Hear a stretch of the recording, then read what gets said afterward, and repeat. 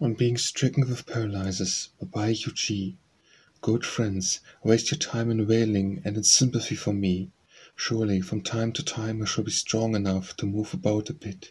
As for travel on land they are carrying chairs, and on water their boats, so if I can but keep my courage what need have I of feet?